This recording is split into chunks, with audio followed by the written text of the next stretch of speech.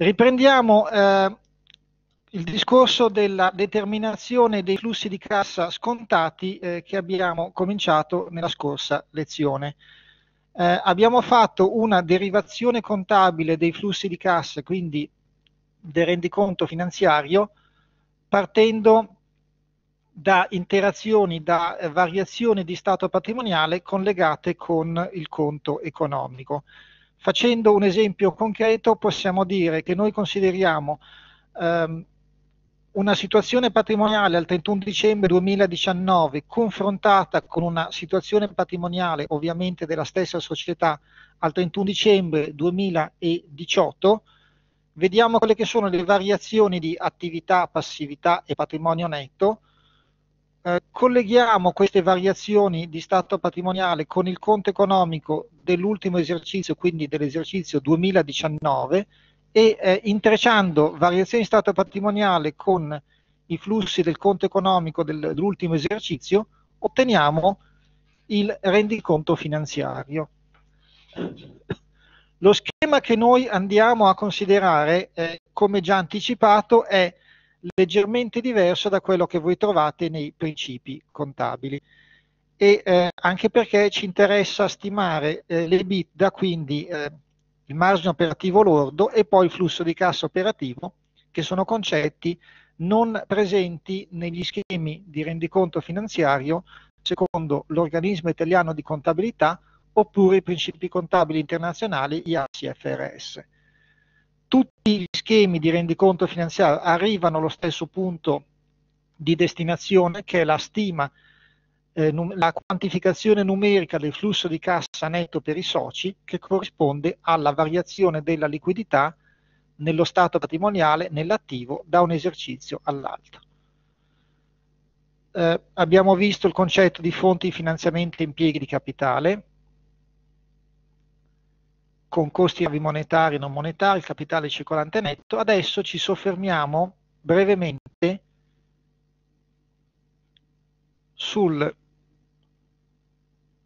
rendiconto finanziario che ha questo schema apparentemente semplice. Allora, il rendiconto finanziario è dato da la differenza tra ricavi operativi monetari e costi operativi monetari al netto di resi a buoni sconti che mi dà il margine operativo lordo e questo è il primo eh, parametro contabile eh, di riferimento che abbiamo più volte definito. È particolarmente importante il margine operativo lordo perché è l'unico parametro ad essere contemporaneamente economico e finanziario.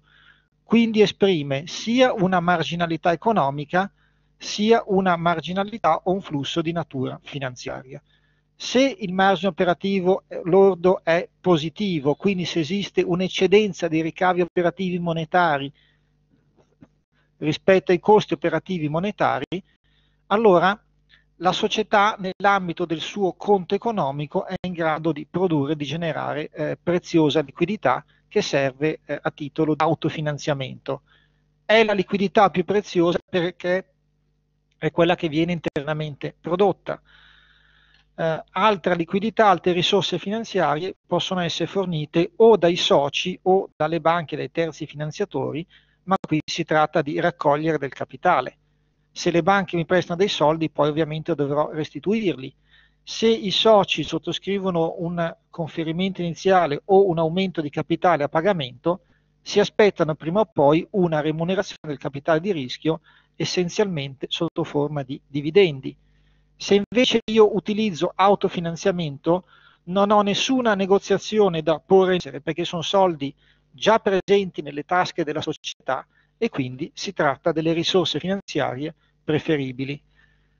Questo è particolarmente eh, importante anche in momenti di crisi, quando ci sono aspetti congiunturali delicati, quando c'è ad esempio so, una pandemia internazionale, perché le banche sono più restie a concedere credito, anche perché le aspettative delle imprese sono più complicate, e i soci dicono eh, ma eh, ci aspettiamo pochi dividendi, la remunerazione del capitale attesa è eh, difficile, magari non abbiamo particolari risorse finanziarie per cui vengono meno questi finanziamenti a titolo di capitale raccolto e quindi anche in questo ambito, anche in situazioni di difficoltà, il ricorso all'autofinanziamento attraverso un obiettivo di massimizzazione del margine operativo lordo è particolarmente importante.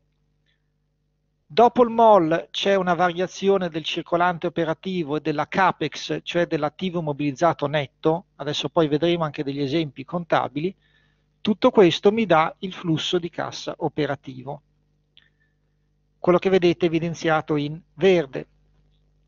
Eh, dopo il flusso di cassa operativo eh, c'è essenzialmente il servizio del debito, gli interessi passivi e nuovo debito che viene rimborsato e in tal caso è un'uscita di cassa, è un impiego, oppure debito addizionale che viene raccolto ed è capitale raccolto, è una fonte di finanziamento. Quindi a seconda del segno posso avere aumento di passività fonte, diminuzione di passività impiego, assorbimento, investimento. Poi ho le componenti accessorie di conto economico che non vanno considerate nel MOL, ovviamente perché vengono considerate sotto nel conto economico scalare e da ultimo arrivo al flusso di cassa netto per i soci. Il flusso di cassa netto che io ricavo con il rendiconto finanziario deve corrispondere con la variazione della liquidità che abbiamo visto in quel schema. Ecco, qui viene evidenziata come variazione da un anno rispetto all'altro ed è il valore obiettivo a cui tende il nostro rendiconto finanziario. Se la derivazione analitica del rendiconto finanziario che abbiamo visto con lo schema prospettato poco fa coincide con la variazione di liquidità nell'ambito dello stato patrimoniale, questo significa che il calcolo del rendiconto è stato fatto in maniera corretta. Queste sono un po' le considerazioni preliminari, quindi è una sorta di riassunto che abbiamo fatto della puntata precedente. Adesso vediamo di, fare, di vedere alcune derivazioni di natura contabile. La prima è questa. Come si può arrivare? Questo è un caso, sono, un, come vedete sono tabelle in Excel importate in Word, dopo vedremo anche la fonte originaria, costituita dal caso Delta, Caso Delta che ha anche una eh, un suo video apposito e quindi ha un materiale didattico dedicato, comprensivo anche di un file Excel che voi eh, potete eh, manipolare e modificare per vedere anche che cosa succede per sottoporlo a uno stress test a una sensitivity in cui cambiando certi parametri poi eh, vedete l'impatto che si ha sul rendiconto vedremo poi di fare eh, insieme alcune simulazioni pratiche.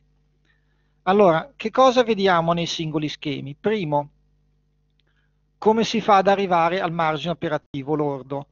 Posso o partire dall'alto, dall'alto vuol dire ricavi operativi monetari meno costi operativi monetari, oppure partire dalla la meno B, la differenza tra valore e costi della produzione, differenza civilistica, differenza richiamata dall'articolo 2425 del codice civile contenuto del conto economico, eh, va espunta da questa differenza eh, tutta la parte straordinaria, il codice civile, questo articolo è cambiato alcuni anni fa, eh, prima era molto meglio nel senso che prima le componenti straordinarie, plusvalenze, minusvalenze, sopravvenienze attive e passive, erano messe in fondo verso la fine del conto economico scalare.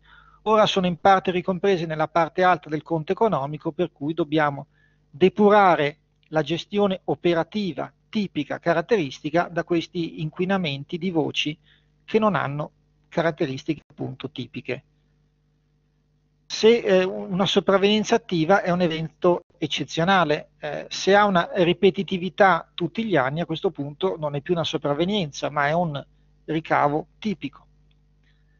Allora, ripeto, per eh, arrivare alla stima del MOL possiamo o partire dall'alto, ricavi operativi monetari meno costi operativi monetari, e abbiamo fatto un esempio che adesso richiamo, oppure possiamo partire dal basso L'esempio pratico che abbiamo fatto, tornando un po' sopra, è esattamente questo.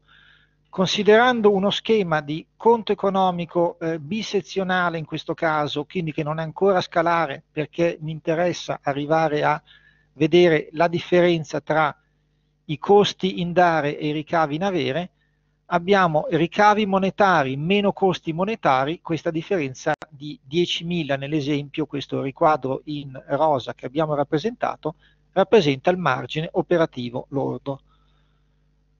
Posso partire dall'alto anche con un conto economico scalare, posso invece dire in via complementare, parto dall'A meno B, dalla differenza tra valore e costo della produzione, il risultato operativo civilistico, sommo ammortamenti e accantonamenti, cioè quei costi che sono sì operativi, tipici, caratteristici, ma non hanno natura monetaria, cioè non comportano uscite di cassa, e tutto questo, quindi eh, risultato operativo più ammortamenti uguale flusso monetario dell'area operativa, cioè margine operativo lordo. Ecco, perché gli ammortamenti sono un costo operativo ma non hanno natura monetaria? Eh, allora, non è dubbia eh, la circostanza che siano dei costi operativi perché sono relativi alla gestione operativa, sono la fetta di torta che eh, va eh, paragonata, va eh, ovviamente associata alla torta CAPEX, Capital Expenditure, alla torta immobilizzazioni materiali o immateriali, a seconda dei casi. E, ehm, però eh, sono dei costi che non hanno natura monetaria. Faccio un esempio.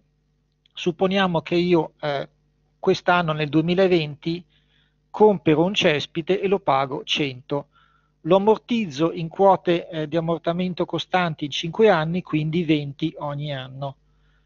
A questo punto il costo relativo all'ammortamento annuo, cioè il 20 che avrò quest'anno e poi avanti per i prossimi 4 anni, senza considerare per semplificazione un ammortamento eventualmente dimezzato al primo anno, cosa che è possibile fiscalmente e con eh, aspetti anche particolari civilistici. Allora, ripeto, se ho un, un'uscita di 100, un costo di acquisto di 100 del mio impianto e poi lo ammortizzo per una quota di 20 all'anno in quote costanti, io avrò un'uscita di cassa subito, quest'anno nel 2020, di 100. Tutti poi i costi degli anni successivi non comportano uscite di cassa perché la cassa si è già ridotta in fase iniziale, in fase di acquisto. Quindi questi costi non hanno natura monetaria. Questo vale anche per gli accantonamenti, eccetera.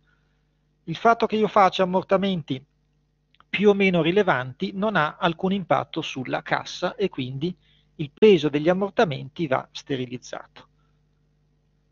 Allora abbiamo questa derivazione del margine operativo lordo. A questo punto sommiamo algebricamente al margine operativo lordo la variazione del circolante e dell'attivo immobilizzato, adesso vedremo di fare anche un commento su questo, e poi arriviamo al flusso di cassa operativo. Allora, va fatta una considerazione sul capitale circolante netto operativo. Adesso vado abbastanza velocemente con questi esempi, poi riprenderemo esattamente tutti questi concetti quando parleremo più analiticamente del caso Delta, da cui peraltro questi esempi sono tratti. Quindi dobbiamo leggere in un'ottica complementare queste, eh, questo PDF eh, di lettura con il file Excel relativo al caso Delta. Allora, sul circolante eh, bisogna ricordare che questo è un capitale circolante netto operativo, dato essenzialmente da tre voci, le rimanenze di magazzino, i crediti verso clienti al netto dei debiti verso fornitori. Ovviamente devono essere tre voci a breve termine, quindi il magazzino non deve eh, contenere uno cosiddetto slow moving, cioè merci che eh, non eh, ruotano, non rigirano, non circolano entro l'anno. Faccio un esempio, io eh, ho un'enoteca, se io non prevedo di vendere del vino rosso dannata entro l'anno, a questo punto questa rimanenza sarà di fatto una scorta immobilizzata. Quindi teniamo conto anche di questi aspetti e teniamo conto della circostanza che eh, anche i crediti devono essere incassabili entro l'anno, far parte dell'attivo circolante corrente a breve e i debiti verso il fornitore devono essere esigibili essi pure entro l'anno. Tutto quello che va oltre l'anno, magazzino, crediti o debiti verso fornitori, non fa parte del capitale circolante netto operativo. A questo punto eh, vedremo poi gli esempi di vari anni con i segni anche che cambiano, ma questo poi va rapportato alla fonte, quindi al caso Excel. Possiamo dire una cosa importante e ehm, cercare di ovviare subito a uno sbaglio che viene fatto con estrema frequenza dai non addetti ai lavori. Supponiamo che il capitale circolante netto operativo da un anno all'altro aumenti. Quindi io ho un capitale circolante netto operativo il primo anno nello stato patrimoniale che è pari a 100, nel secondo anno è pari a 250, espresso sempre nell'attivo, quindi aumenta di 150.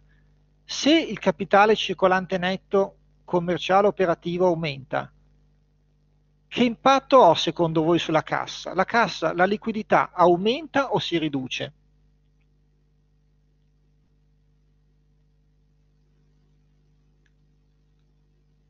Aumenta il, il circolante. Cosa succede?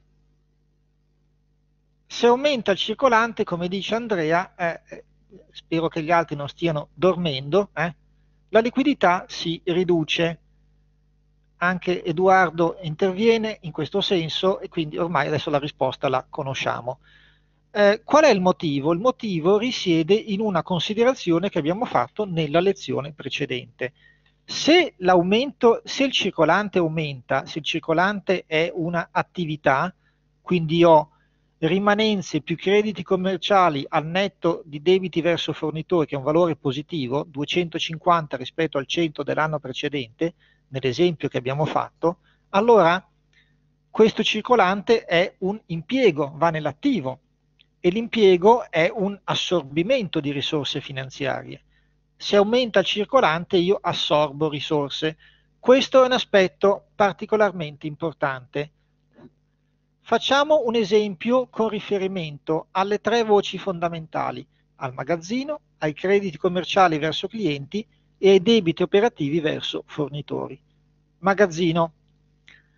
Eh, supponiamo di considerare società che chiudono l'esercizio eh, al 31 dicembre, quindi hanno un esercizio coincidente con l'anno solare e ehm, a questo punto possiamo fare la seguente considerazione. Una tipica strategia anche eh, non solo commerciale ma anche strategica, una manageriale, è quella di far fare magazzino agli altri. Cosa vuol dire? Io voglio alla fine dell'anno cercare di far fuori il magazzino per minimizzarlo e avere anche un eh, miglioramento dei flussi di cassa se io riesco a vendere tanti prodotti, tanti articoli entro il 31 dicembre, ovviamente il magazzino si riduce e aumenta la liquidità. C'è però un problema anche di magazzino legato al ciclo delle vendite e all'aspetto appunto manageriale della società. Che cosa significa questo? Supponiamo di eh, avere società che possono anche andare in rottura di stock evento che si può verificare anche quando ci sono ad esempio delle pandemie. Non ho dei fornitori perché le aziende eh, a livello di supply chain internazionale funzionano meno bene rispetto a qualche mese fa, qualche settimana fa, ci sono problemi di approvvigionamento, a un certo punto non riesco a trasformare le materie prime in prodotti finiti perché mi mancano alcune componenti essenziali. Vado in rottura di stock cioè esaurisco le scorte, non ho più scorte di respiratori, di mascherine, di eh, amuchina, eccetera, perché eh, c'è una forte domanda e l'approvvigionamento segue dei canali che sono molto più faraginosi e imperfetti rispetto al passato. Allora, un altro esempio che potremmo fare è questo. Supponiamo che qualcuno di voi debba andare a comprare un paio di scarpe ovviamente operazione possibile quando i negozi sono aperti. Andiamo a Milano nella centralissima via Torino che è piena di negozi di scarpe di qualità medio-bassa, quindi comunque teniamolo come esempio, quindi partiamo dal Carrobbio e arriviamo fino a Piazza del Duomo. A questo punto vi è mai capitato, e mi rivolgo soprattutto alle fanciulle, alle cenerentole che mi ascoltano, di andare in un negozio di scarpe e dire guardi, lei non è particolarmente fortunata, ho tutti i numeri di piede tranne quello che serve a lei. Vi è mai capitata una cosa del genere? Soprattutto quando ci sono i saldi? Sì, capita, eh, ecco, pur, eh, come dice Laura, purtroppo sì, Alessandra idem, quindi eh, può succedere. Allora, eh, il negoziante il, ehm, di calzature ha questo trade-off, questa alternativa a livello strategico. Se ha un vasto assortimento di magazzino, vende di più. Però rischia di avere un invenduto e questo magazzino che ha, questo che va a gonfiare il circolante, se lo deve anche finanziare. Cioè il magazzino è un'attività che va finanziata, va coperta, va controbilanciata contabilmente con una passività, ovviamente. Aumento il magazzino e beh, questi soldi me li devono dare o i soci o le banche. Quindi aumento il capitale investito, dovrò avere un incremento di capitale raccolto. E questo costa, ha un costo finanziario. Allora, eh, riprendiamo l'esempio del negozio di calzature e possiamo dire la seguente cosa. Supponiamo che io entro in un negozio, eh, mi dicono guarda, non c'è quel paio di scarpe, eh, se vuoi te le ordiniamo, arrivano domani. Che cosa fate? Aspettate o andate da un'altra parte? Domanda da consumatore. Eh, non è una domanda di finanza, è una domanda da Ecco, Alessandra dice nuovo store, Edoardo andiamo via, Laura dipende, forse un po' più diplomatica. Allora, rifacciamo un po' l'esempio. Siamo a Milano in via Torino, un negozio di scarpe, non trovo le scarpe che mi interessano, vado nel negozio di fianco. Mi trovo nel paesino sperduto di montagna in cui c'è un solo negozio di scarpe, eh, che è un articolo che difficilmente si compra sulle piattaforme online su Amazon perché magari devo anche provarle, a quel punto forse aspetto. Il sistema di vendite per corrispondenza, la vecchia postal market che non esiste più da anni, era nato negli Stati Uniti negli anni 50 nel dopoguerra, soprattutto per rifornire i piccoli paesi che erano lontani anche dai grandi centri commerciali. Per cui la risposta è questa, non trovo il paio di scarpe, se mi piacciono particolarmente posso aspettare un giorno o due per il riassortimento, altrimenti cambio negozio. Allora, questo è un trade-off importante e uno degli aspetti principali che deve affrontare il negoziante. Se il magazzino è troppo fornito, a questo punto eh, eh devo finanziarlo con un circolante che va appunto pagato, va finanziato. Se il magazzino è molto scarno e scarso, a questo punto eh, ci sarà un impatto negativo sulle vendite. Il negozio è poco fornito, ha un assortimento limitato e quindi vende poco. Queste cose ci possono, eh, si può fare un esempio anche un po' diverso, ma vale la pena di affrontarlo con una libreria.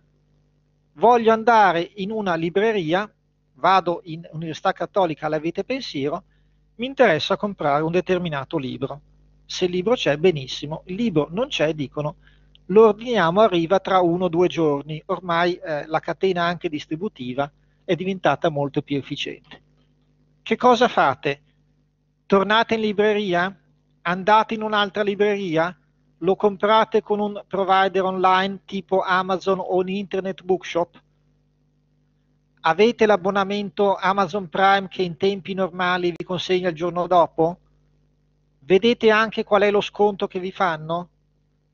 tipicamente i libri non possono fare sconti per norma superiore al 15%? Ci sono tante considerazioni. Allora diciamo, il paio di scarpe magari giustifica anche un'attesa, il libro forse meno. Anche, eh, potete addirittura al libro dire, ma chi se ne importa, lo voglio subito, compro un ebook. Quindi vado su applicazioni Kindle o similari e lo leggo immediatamente, costa anche meno non ha la fisicità della carta, ma è qualcosa di cui posso fruire immediatamente. Quindi il magazzino, per riprendere il discorso, deve adattarsi alle diverse fattispecie. Vale la pena di fare un magazzino? In quanto tempo curo eh, l'assortimento? Posso avere un approvvigionamento just in time? Terzo e ultimo esempio che facciamo può essere quello di una farmacia. Eh, ogni quanto vengono rifornite le farmacie dai eh, vari eh, camioncini che portano farmaci? Eh. Qual è il tasso di rifornimento di una farmacia? Due volte al giorno tipicamente, la mattina e il pomeriggio. Vi è mai capitato di andare in farmacia e chiedete un determinato farmaco? Eh, ad esempio, non so, un, un, ansiolitico se la vostra squadra di calcio va male, eh, potrebbe essere, oppure un antistaminico, eccetera, vi dicono guardi, non l'abbiamo in questo momento, ma eh, possiamo procurarglielo per oggi pomeriggio. Che cosa fate? Ancora una volta, se avete tante farmacie vicine potete andare da un'altra parte, se non avete particolare urgenza o siete in un posto che ha magari un'unica farmacia comoda, ritornate e prenotate il farmaco. Anche qui è un problema di magazzino. Attenzione, le farmacie hanno un criterio di rotazione del magazzino che è il cosiddetto FEFO, First Expiring, First Out. Cosa vuol dire? Se una farmacia ha una scorta di aspirina, vi venderà per prima l'aspirina che scade per prima. Oggi vi vende un'aspirina che scade tra due anni e poi eh, carica in magazzino eh, aspirina che scade magari tra due anni e due mesi, eccetera. Quindi è un criterio anche di rotazione del magazzino che eh, segue anche il, la, la, politica che fanno anche i supermercati di vendere per prima la merce che scade per prima. E anche per questo si chiama, ripeto, first expiring, first out, cioè il primo farmaco che expire, che scade, è il primo che out che va fuori, che viene venduto. Allora, eh, l'ultimo esempio che facciamo, andate in un supermercato, volete comprare del, so, eh, dei ravioli eh, ovviamente confezionati, a questo punto trovate tutta la, la fila dei ravioli, se mettete la mano verso la fine dello scaffale, probabilmente trovate quelli che scadono per ultimi. Perché? c'è anche qui una strategia commerciale di eh, esporre sul, eh, sugli scaffali, eccetera, prima la merce che ovviamente scade per prima. Allora, tutto questo discorso ci fa capire quanto sia importante il magazzino anche nell'ambito del capitale circolante netto operativo e dell'assorbimento dei flussi di cassa se il magazzino aumenta. Altra considerazione complementare si può fare con i crediti commerciali nei confronti della clientela. Che cosa succede? Eh, se il, eh, il, portafoglio crediti aumenta, se i crediti aumentano da un esercizio all'altro, ovviamente aumenta il circolante e io eh, come impresa assorbo delle risorse finanziarie. Questo assorbimento di risorse finanziarie, esattamente come accade per il magazzino, costa ha un costo finanziario. Costa perché eh, è un aumento di attività, è un impiego, è un capitale investito che va finanziato da una fonte o da capitale raccolto. Aumentano i crediti verso clienti, devono aumentare o i debiti verso banche oppure il eh, patrimonio netto, quindi i conferimenti dei soci. Allora, eh, Conviene o non conviene aumentare il circolante rappresentato dai crediti commerciali? La risposta è, eh, beh, l'ideale sarebbe, eh, Melissa mi dice di no, eh, ma ehm, è vero, eh, ma lo stesso vale anche per il magazzino. Io devo cercare di contenere, di minimizzare il capitale circolante. Questa minimizzazione però non può e non deve andare a scapito anche della gestione eh, economica e manageriale della mia azienda. Io potrei anche dire non accetto dilazioni di pagamento, quindi o mi paghi pronta cassa oppure non ti vendo. Stile supermercato, quando vado al supermercato non è che pago a rate, pago subito, ma non tutti funzionano così. Molti negozi eh, agiscono in questa maniera. compri qualcosa lo paghi immediatamente. Quando però le imprese vendono con canali B2B, business to business, quindi ad alte imprese, non funziona così. Il fornitore di riso che vende il riso al supermercato dice io, fornitore di riso, ti vendo riso e tu eh, me lo paghi a eh, 90 giorni. Poi so benissimo che tu quando vendi il riso confezionato sullo scaffale hai un incasso immediato. Quindi normalmente nel business to business c'è una dilazione di pagamento. Allora, le imprese sono assolutamente consapevoli del fatto che quando ci sono dilazioni di pagamento il circolante aumenta e questo circolante va finanziato. Però questo è uno strumento commerciale che in molti casi è assolutamente ineludibile.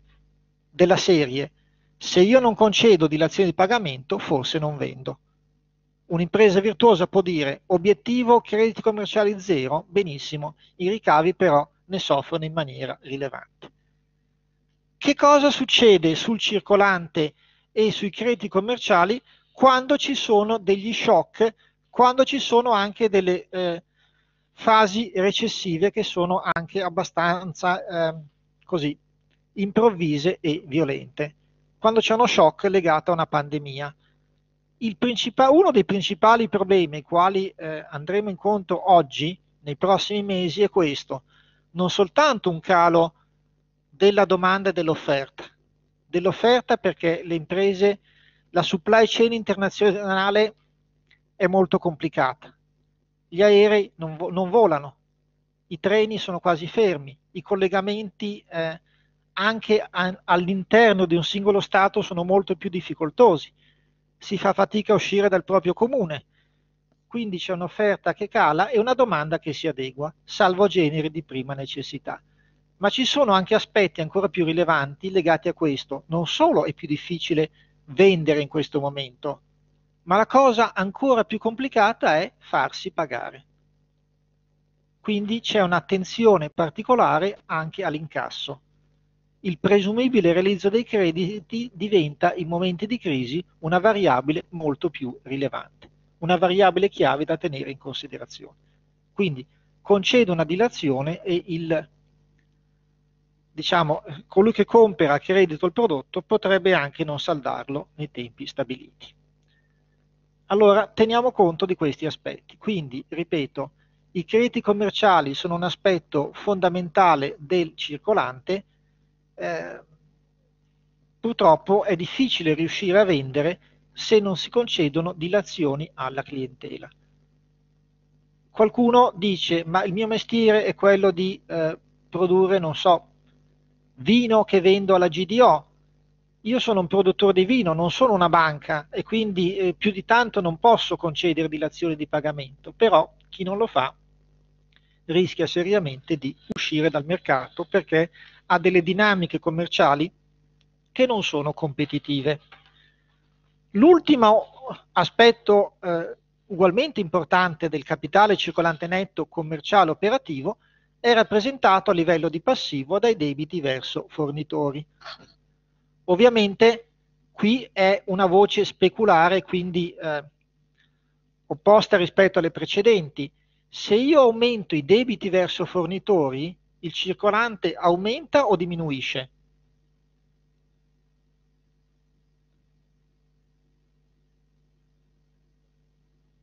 Silenzio. Eh. Allora, se aumento i debiti verso fornitori, il circolante diminuisce, è una passività.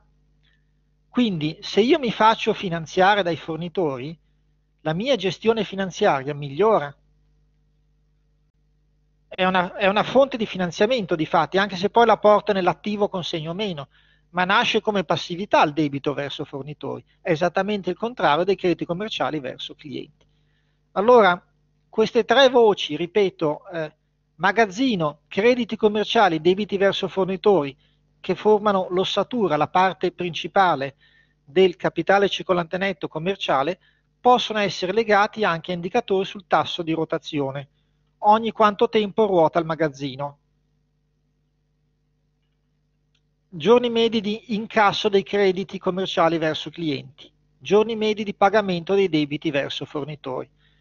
Se i giorni medi di incasso dei crediti sono 90, quindi 3 mesi, e i giorni medi di pagamento dei debiti verso i fornitori sono 60, vuol dire che io incasso a 3 mesi e pago a 2 mesi. Quindi ho un ciclo finanziario che assorbe liquidità. C'è un'ultima considerazione da fare importante. Stiamo parlando degli aspetti finanziari, ma ci sono delle conseguenze di tipo economico. Abbiamo già detto questo, se io non ho una certa consistenza di magazzino, non vendo. Non vendo le scarpe se non ho un assortimento nel mio negozio. Se non ho una certa politica di dilazioni commerciali, non vendo. È difficile vendere business to business senza applicare dilazioni alla clientela corporate. Se io eh, non ho debiti verso fornitori, beh, in questo caso posso comprare lo stesso, il fornitore è ben contento di dire ti vendo e mi paghi subito. Ma ovviamente eh, l'incidenza è, è, anche legata agli aspetti economici. Cosa vuol dire? Eh, supponiamo che io eh, abbia un cliente e gli dico guarda, io ti vendo questa merce al costo di 100 e tu mi paghi a 90 giorni se invece mi paghi subito, ti faccio uno sconto pronta cassa e te la vendo a 98. Vale la pena risparmiare 2, il 2% in tre mesi, che è circa un 8% su base annua, senza considerare la capitalizzazione composta? Dipende. Il cliente può dire ci sto o non ci sto. Ti faccio uno sconto per pagamento pronta cassa e questo specularmente vale anche quando ho un debito verso il fornitore. Posso dire al fornitore, guarda, se io ti pago subito, che sconto mi fai? Quindi eh, queste considerazioni ci fanno capire che c'è una importante correlazione tra eh, le politiche commerciali, tra quello che succede all'interno del circolante e quello che si verifica nell'ambito del conto economico. L'impatto sul conto economico delle mie strategie di gestione del circolante.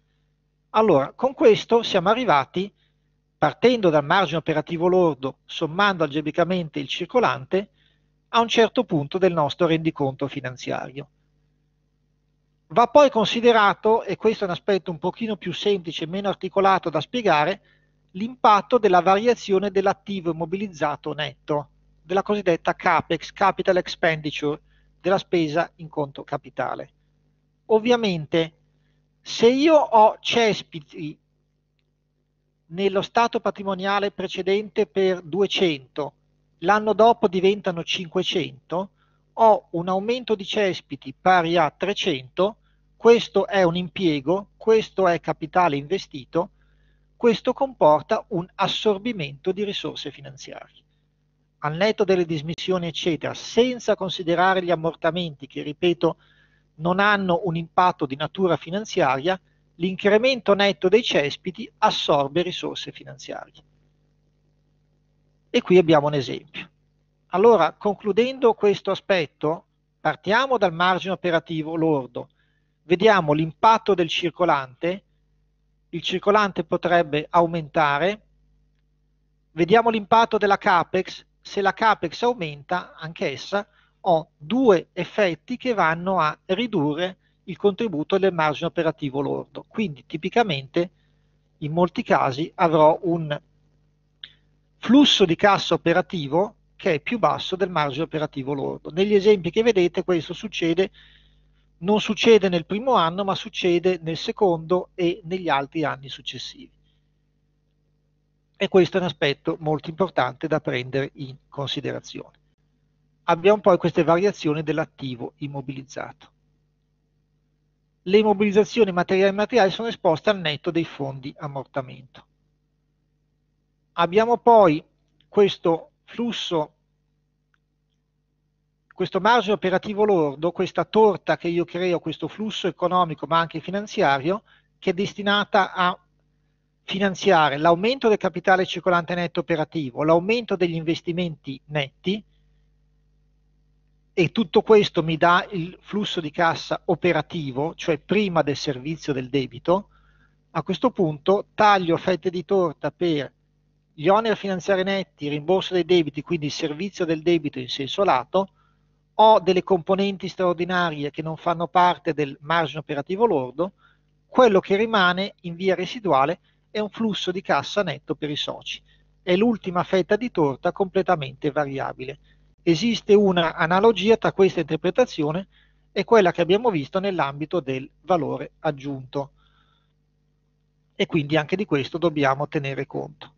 Ritornando un attimino a noi e all'esempio che facevamo del rendiconto, noi possiamo dire che il flusso di cassa operativo sta al risultato operativo, quindi al margine operativo netto, quindi al reddito operativo, all'EBIT, come il flusso di cassa netto sta al risultato netto, utile o perdita netta dell'esercizio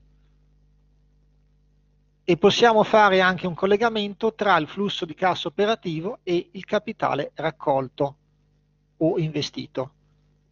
Il flusso di cassa netto è paragonabile all'utile netto in conto economico o al patrimonio netto nello stato patrimoniale, il flusso di cassa operativo è paragonabile al risultato netto nel conto economico o scusate al pardon, risultato operativo nel conto economico oppure alla somma delle componenti a livello patrimoniale, quindi patrimonio netto più debiti finanziari al capitale raccolto nell'ambito dello stato patrimoniale. Questa è una ulteriore considerazione che possiamo fare da un punto di vista pratico. Abbiamo poi eh, successivi approfondimenti, eccetera.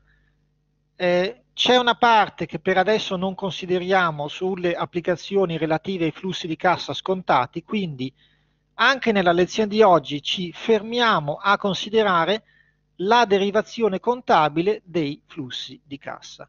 Adesso dedichiamo qualche minuto agli aspetti prioritari del caso delta. Il caso delta è piuttosto articolato, e eh, vediamolo in alcuni. Riuscite a vedere questa nuova videata? Ci siamo? Perfetto. Allora, questo caso lo avete ovviamente postato su Blackboard. Vediamo di rappresentarlo un po' più con uno zoom un po' migliore.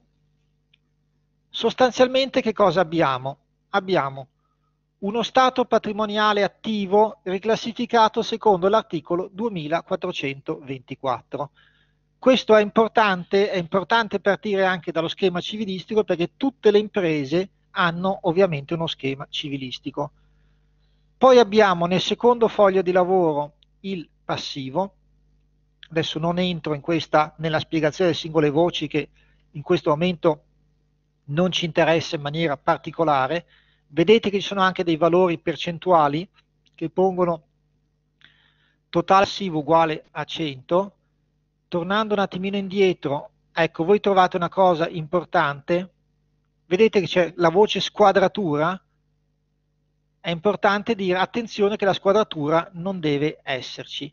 Facciamo un esempio Adesso poi vi dirò dove trovare questo schema di, eh, questo schema di file è riportato sotto gli esercizi in Blackboard, quindi lo trovate e vi darò anche delle indicazioni. Adesso non è necessario trovarlo immediatamente in questo momento. Per capire come funziona la squadratura, supponiamo di dire una voce assegni, anche se gli assegni non si usano più, aggiungiamo una voce di 999. Vedete che troviamo una squadratura quindi questo valore che ho aggiunto mi dà una squadratura di 999. Togliamo e torniamo al punto precedente. Aggiungo 777, vedete che ho una squadratura di 777. Allora, ripeto, è importante avere le attività che bilanciano, che quadrano con le passività. Se per caso c'è una squadratura, cercate di accorgervene, di sistemarla, altrimenti a cascata anche il rendiconto poi ovviamente non quadrerà più.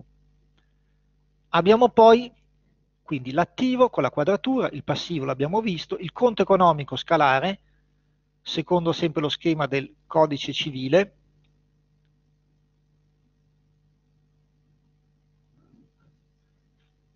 con un risultato netto, anche qui la squadratura non ci deve essere una squadratura tra utile del conto economico e utile dello stato patrimoniale. Se io vado a mettere una voce anche qui di 888, vedete che compare anche sotto, quindi ho aggiunto questa voce qui, c'è una squadratura perché manca la, il conto di collegamento tra stato patrimoniale e conto economico. Abbiamo poi altri fogli che qui non andiamo a considerare e cerchiamo di eh, arrivare subito.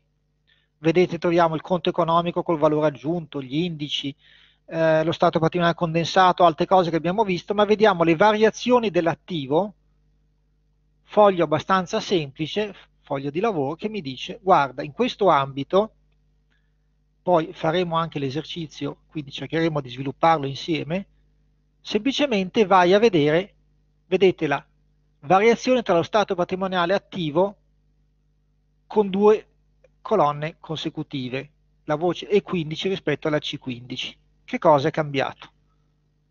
Variazioni dell'attivo. Abbiamo specularmente sotto, mi raccomando, guardate la squadratura, anche qui torniamo alla voce assegni, possiamo avere 333, vedete che questo mi genera una squadratura. Quindi controllatela sempre perché è importante. Poi consideriamo le variazioni del passivo.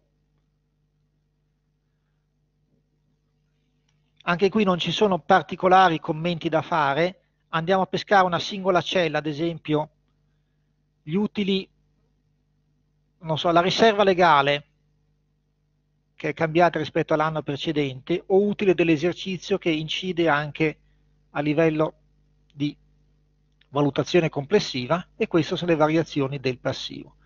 Poi abbiamo il flusso di cassa, ecco qui abbiamo una prima videata sulla quale ci soffermiamo che considera il rendiconto finanziario nell'accezione che noi abbiamo considerato. Nella videata successiva avete un collegamento, vedete come si chiama il foglio di lavoro, lo schema di rendiconto finanziario,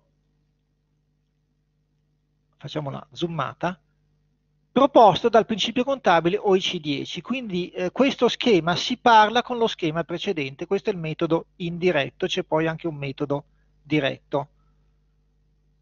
E abbiamo una voce di quadratura.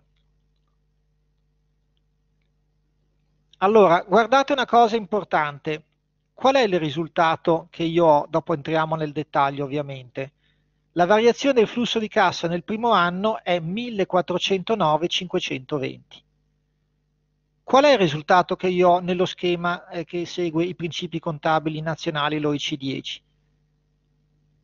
1409,520. È esattamente lo stesso valore. Come vi anticipavo in precedenza, partono da ipotesi anche un po' diverse, hanno un percorso, una strada differente, ma eh, arrivano allo stesso punto.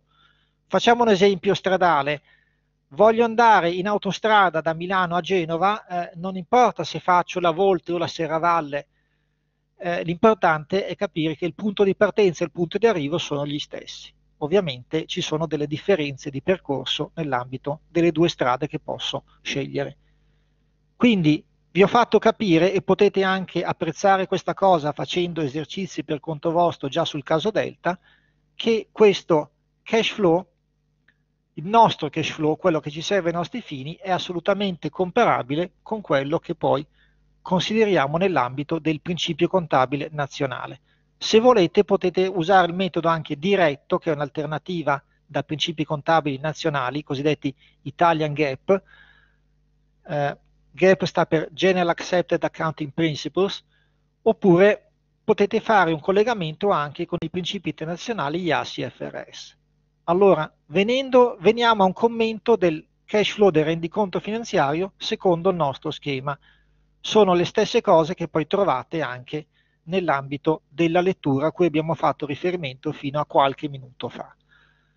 Allora, qui abbiamo punto di partenza, il MOL, Ecco, seguite anche i colori. Eh, se non abbiamo, siamo affetti da daltonismo, questi colori ci aiutano anche a capire che cosa c'è sotto. Quindi lo schema riporta sotto una specifica analitica. Esempio, Qui abbiamo il MOL con un certo colore. Poi abbiamo la variazione del capitale circolante netto operativo, 1443,983. Vedete la, la cella più C50, andiamo alla voce C50 e dice esattamente come si forma. Vedete che avete tutta la specifica, dove vado a prendere le singole voci, essendo circolante sono tutte voci di stato patrimoniale, non vado a pescare il circolante dal conto economico. Entriamo in una cella, variazioni dell'attivo, variazione rimanenze. Ho debiti verso fornitori, entriamo nella cella, variazioni del passivo. Quindi vedete il collegamento con i fogli di lavoro. Ecco, attenzione, è molto importante imparare a usare Excel e applicarlo anche all'analisi finanziaria, all'analisi di bilancio. Io ho una pretesa che comincio a svelarvi oggi. Se io vi esprimo un concetto nel corso di finanza e questo concetto non, è, non può essere trasfuso in Excel, ci sono buone probabilità che sia un concetto sostanzialmente inutile. Prendetelo un po' come una battuta, ma eh, la finanza è una materia anche quantitativa, basata su numeri, anzitutto su numeri di natura contabile. Allora, abbiamo visto questo colore giallo che abbiamo associato alla variazione di circolante, capitale circolante netto operativo. Abbiamo poi la CAPEX, la variazione dell'attivo mobilizzato, sfondo verde, assorbo risorse per 229.170, anche qui la voce il C56 è questo. E ovviamente si riferisce anche a questi aspetti. Allora, attenzione, c'è anche la voce ammortamenti. Perché gli ammortamenti sono presenti? Perché è una componente di costo che serve per considerare la variazione delle mobilizzazioni nette, ripeto nette, e li considero qui. Io non considero gli ammortamenti nel MOL. Il MOL è il punto di partenza. Il fatto che li abbia qua sopra mi dice puoi arrivare al MOL partendo dall'EBIT, ma potresti anche partire dall'alto, ricavi operativi monetari meno costi operativi monetari, in questo caso gli ammortamenti sono sotto perché conseguenzialmente nel conto economico scalare gli ammortamenti vengono dopo il margine operativo lordo. Se usiamo l'acronimo inglese di MOL, cioè EBITDA, Earning Before uh, Depreciation, eccetera, eccetera, cioè vuol dire sostanzialmente che abbiamo un utile Earning Before Depreciation, Amortization, Interest and Taxes, dove depreciation è l'ammortamento delle immobilizzazioni materiali L'amortization è l'ammortamento delle immobilizzazioni immateriali, marchi, brevetti, avviamento, eccetera. Quindi è l'utile prima di queste componenti. Abbiamo delle imposte operative basate su una base imponibile, qualcuno mi ha fatto anche la domanda, eh, la base imponibile ovviamente è una sorta di differenza tra ricavi operativi e costi operativi, e tutto questo mi dà un flusso di cassa operativo. Abbiamo poi le passività finanziarie e altre voci che adesso non commentiamo tanto, le trovate nell'esercizio che dovete svolgere anche voi per fare un primo test di eh, compenetrazione, di eh, sincronia tra l'Excel la finanza aziendale, le riclassificazioni di bilancio. Abbiamo variazioni di passività nette sfondo blu, voce C64, c'è un dettaglio in questo ambito variazioni di passività intercompany sono zero, variazione di patrimonio netto con questo sfondo grigio, voce C74 e la troviamo qua. Attenzione, arriviamo adesso alla fine. Arriviamo a esprimere un valore complessivo che ci dice sostanzialmente che cosa vogliamo vedere. Allora, Vedete che il flusso netto per i soci nel primo anno 1409-520 calcolato in modo analitico corrisponde con quello calcolato in modo sintetico? Lo vedete? Ci siamo? Questo è molto importante, è un aspetto assolutamente fondamentale. Qual è la squadratura? La squadratura è zero. Cosa succede quando c'è una squadratura? Succede che abbiamo ovviamente sbagliato questo sbaglio dobbiamo anche andare a considerarlo. Allora, dove abbiamo sbagliato? Se c'è una, un errore di qualche tipo, dove è stato generato questo sbaglio? Nelle variazioni di stato patrimoniale, se così è, io mi porto dietro anche un qualcosa che è sbagliato. Facciamo un esempio, inseriamo nelle variazioni dell'attivo nelle partecipazioni la voce 666, la squadratura di 666, il cash flow, vedete che c'è la squadratura anche che mi porto dietro nell'ambito del rendiconto finanziario. Quindi la squadratura, se c'è una squadratura, o è generata nelle variazioni dello stato patrimoniale, o c'è nel conto economico, prendiamo il conto economico, aggiungiamo una voce in questo anno di eh, rivalutazione di partecipazioni 555, a livello di cash flow avrò una squadratura di 555. Vedete come ci portiamo dietro queste cose. Ecco, fate un'analisi anche di sensitivity, di causa-effetto. Se muovo un bastoncino degli Shanghai, qual è l'effetto domino, l'effetto a catena sugli altri? Ma soprattutto notiamo che il flusso di cassa derivato in modo analitico nell'ambito del rendiconto finanziario deve corrispondere al flusso di cassa derivato in modo sintetico la differenza tra disponibilità liquide finali e iniziali. E questo è particolarmente importante. Allora, questo numero che porta una squadratura pari a zero è assolutamente coerente con che cosa? Con questo schema della nostra lettura.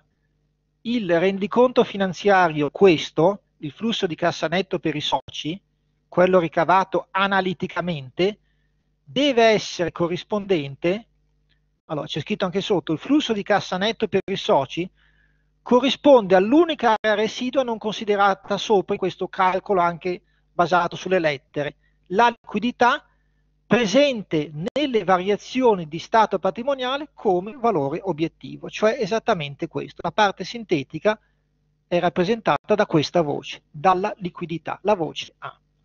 Quindi questo ci fa capire anche come andiamo a posizionarci. A questo punto abbiamo terminato questa lezione, questa introduzione contabile al rendiconto finanziario. Rimanete in linea, ci ricolleghiamo poi per l'altra lezione.